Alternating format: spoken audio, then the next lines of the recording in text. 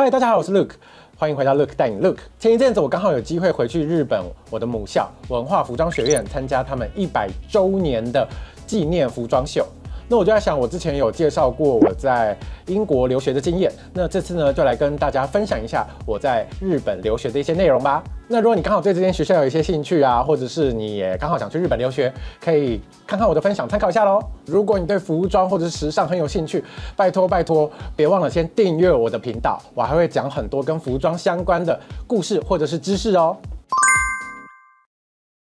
为什么选择到日本念书？其实是因为一开始我在英国念书嘛，那他们的教育方式会属于比较就是放任你自由发展，然后比较呃引导式、概念式。那日本的部分会比较针对性、比较实务操作的部分会。教你比较多。那当初由于我是跨领域，我本来在台湾念的是哲学系，我没有设计或者是制作这方面的呃技能，所以呢，我后来就决定到日本去念书，主要是因为日本会比较扎实的教你一些实际的技能。那当然还有很大原因是因为我本来就很喜欢日本跟日本的文化。那对于日本时尚当中有许多的比较非主流的东西，呃，有许许多多的次文化的部分，我觉得也是非常的有趣。所以呢，这是为什么我决定要去日。本念书原因，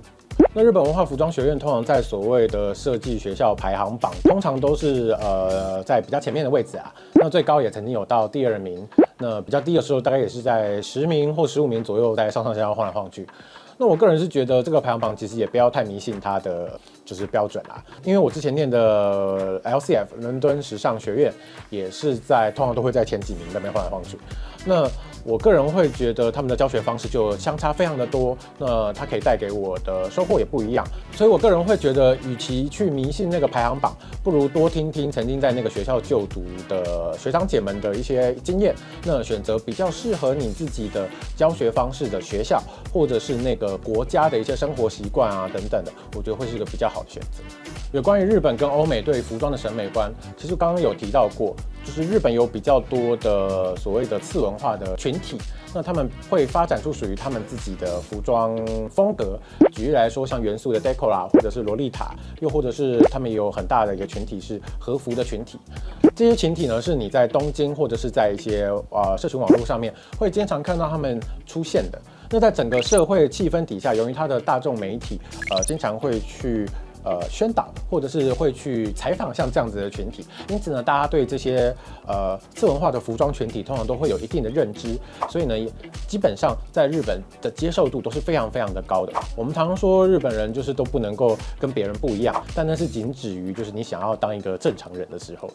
当你一开始就是以比较不一样的方式出现在大家面前的时候，其实他们的意外意外，他们的接受度其实是很高的。那在英国则比较相反哦，呃，在英国果然还是大家比较呃倾向于主流的服装文化，比如说高级服装品牌或者是快时尚品牌，基本上还是集中在这两个当中。那偶尔有一些次文化，比如说像是朋克啊，或者是一些像是古喜欢古着的人，他们通常会真的就是非常的少，而且只集中在比如说像是 shortage 啊之类的一些比较特定的区域。文化服装学院创立于一九二三年，也就是日本的大正时代。那到了一九三六年，它才正式改名为文化服装学院。那一开始呢，它只是一个女性专门的裁缝学校。那在后来呢，慢慢的、慢慢的扩展成为了呃，可以说是全亚洲最知名的一个服装设计学院之一啊。那它很有名的就是它发明了这个叫做文化原型的一个基本的衣服的版型哦。那从这个基本的版型当中呢，可以去改变跟扩版。去改出各种不同的服装，等于是所有的衣服的一个原型哦。那这个原型是呃非常符合我们亚洲人的体型，也是专门为亚洲人所打出一个版型。也因此呢，在欧美的一些呃高级时尚品牌，他们在争打版式的时候，经常也都会留有，就是专门给。会打这个文化式版型的打版师哦。那另外呢，其他亚洲，比如说像台湾或者是其他地方的这些服装设计师或者是一些学校，很多很多的老师也都是从文化毕业，然后并且呢从那边学了一些东西回来。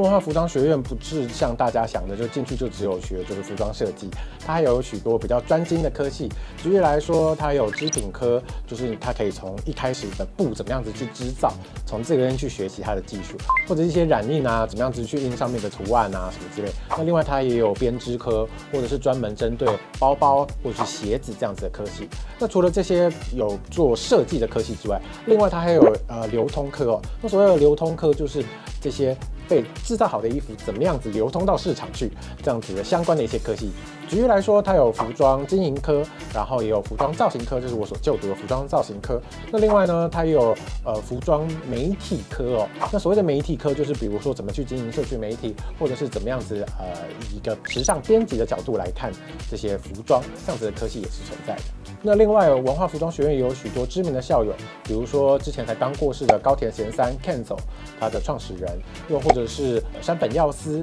跟高桥盾，或者是渡边淳也等人。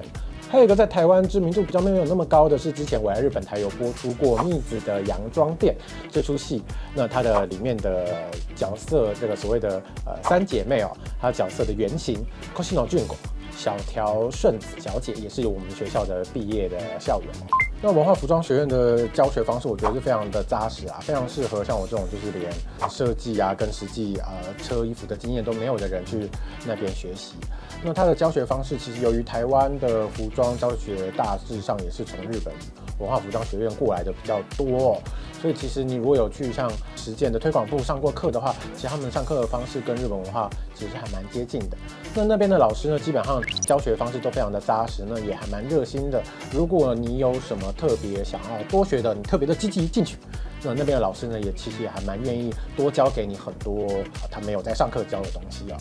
那另外呢，差异比较大的比较是硬体上面的部分跟一些资源的方面吧。那日本呢，毕竟是一个比较市场比较大的一个国家，所以呢，他们会有比较多，举例来说，会有比如说像 Fendi 啊、Gucci 啊，会在那边开一些比如说制作的一些比赛，那你就有机会可以去参加那边的比赛。那如果得名了，很有可能就这么的被这些大公司挖角，你就去欧洲工作也说不定。那硬体方面真的就是有比较大的差异哦。那他们在学校里面就有工厂等级的，就是烫衬机或者是呃自动割板的机器啊。那另外就算是他们的那个平车啊，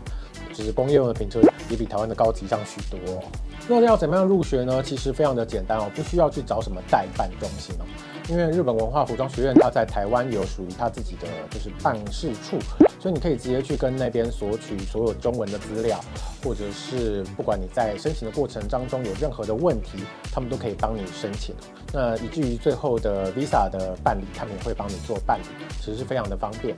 那面试的部分也可以在台湾面试，那他们会从日本派老师过来直接跟你面试那面试的内容其实也蛮简单的，大概就是基本测测你的一些日文能力，跟就是直接面试的。那面试大概就是问一些大在问，就是为什么想要来念我们学校啊？那对我们学校有什么样的看法啊之类的这些很简单的问题。那有关于毕业之后的出路，当然除了就是回来台湾就业之外，呃，想必有很多人是想要留在日本的。那留学生要留在那边工作，说实在的，的确就是稍微比较困难一些。那如果你在台湾有大学毕业的证书的话，则会稍微再简单一点点哦。因为如果是这样子的话，你有台湾毕业的大学证书的话，你可以在那边做一些，比如说像是服装店的员工，或者是一些服饰品牌里面的一些企划，或者是一些行政。那这一些。呃，职位呢，在日本政府的要求下，都需要有大学以上的学位。那这些服装公司会以翻译这样子的名义替你申请工作的 visa。所以呢，以日本政府规定来说，就是你至少要有大学毕业以上。的学历，你才可以去做这样子的工作。那你如果没有大学以上的学历呢，直接是从文化服装学院毕业的话，则必须要做完全跟你所学的是贴近的这样子的工作。那所以，呃，像是服装设计科系的人，有很多人就会去做呃一些品牌的打版师，或者是呃工厂管理、商品管理这样子的一个职位。那服装造型，像我的服装造型性科系的留学生呢，则比较困难一些哦，因为服装造型师在日本基本上是属于师徒制的，你还是要去跟一个老师。而这些老师们呢，通常都是自由个体户，所以呢，他们通常没有一个公司哦。那没有公司的情况下，就非常难帮你去申请一个就是就职的 visa，所以呃，这方面是比较困难一些的。那当然也有一些同学在毕业之后去从事了一个比较特殊的行业。举例来说，像有同学在校的时候，由于呃做服装秀的时候有接触到了音乐的编辑、影像的编辑，甚至是舞台的灯光，所以我有同学去了灯光公司做灯光师哦。那也有同学因为呃喜欢影像或者是喜欢音乐，后来去当了 DJ，或者是去当了呃一些影像编辑的人员，这样也是有的。那我会推荐到日本文化服装学院念书有三个点哦。第一个呢，毕竟它还是离台湾比较近，那它跟台湾的文化落差也比较小，所以呢，你的生活各方面上面会比较轻松一点。那你可以有更多的精力在交朋友啊，还有就是重在你的学业上面。那第二个呢，是它的留学费用也比起欧美国家来的便宜一些。根据我那个时候的经验。呃，刚入学的第一次缴学费会稍微比较贵一点，大概是日币一百万左右，那大概是台币三十万左右。那之后的每个学期大概都是日币三十万上下，大概是台币呃接近十万左右这样子的呃金额。但是呢，我之前去伦敦念书的时候呢，一个学期就大概要五十万台币哦。所以呢，这个价钱落差其实还蛮大的。那第三个呢，则是我觉得日本有比较多的次文化，还有一些欧美国家大多数的呃服装品牌的展览啊，或者是一些艺术的展览，只要有巡回到亚洲，基本上都会到日本去展出哦。所以因此，你可以在日本同时获得东方跟西方的许许多多呃比较特殊的刺激，我觉得呢是对呃创作是非常好的。那如果想念日本文化服装学院，我个人会有两个建议。第一个是日文的程度真的不能够太差啊。那他们基本上是日本语能力检定 N 二以上就可以去念了。但除了 N 二之外，我个人会觉得你还必须要去多摄取一些有关于日本流行文化的一些东西会比较好。举例来说，去看一些日剧或者是看一些日本的综艺节目，或许都会是一些有帮助的。那这不仅仅是在你交朋友的时候会比较方便，那另外还有就是你在上课啊，或者是呃搜寻一些资料的时候也会比较。顺利。那第二个呢？我个人是认为是必须要去稍微放宽你对于时尚的一些刻板印象啊。那因为在日本，除了呃所谓的高级服装、高级时尚之外，他们有非常多的次文化跟古着文化。那在文化服装学院里面的学生，应该有大概至少一半以上都是对于这一方面的东西比较着迷的学生了。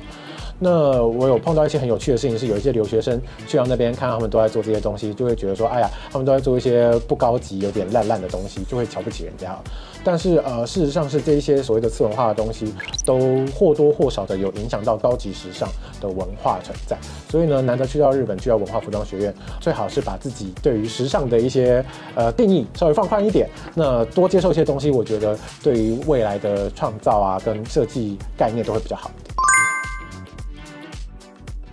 好的，那我们今天影片就到这边了。那总而言之，我觉得呃文化服装学院真的是一个非常扎实的学校，你可以在那边学到很多的东西哦。那另外呢，由于他们每年毕业的时候都会有服装走秀，所以你也可以在那边接触到自己办一个服装秀，这样子一些很难得的经验都可以在这个学校获得。那也有很多不同的刺激哦。那如果呢时间倒转回十几年前的话呢？我可能还是会愿意去念这个学校哦，只是我可能会先去日本的文化服装学院，再去英国念书，这样子的顺序可能呢会比我本来的方式哦还要再顺利一些哦。那在开头我有提到我回母校去看他一百周年的纪念的服装秀，那下一集呢我们就会带大家飞到东京去看看文化服装学院这间学校到底是什么样子的学校，然后呢也顺便看看他一百周年的纪念服装秀哦。那如果你喜欢我影片，别忘了在下面留下你的感想，然后啊还有按赞、订阅跟开启小铃铛，跟别忘了把这部影片分享给你所有想要去日本留学的朋友们哦。我们下次见，拜拜。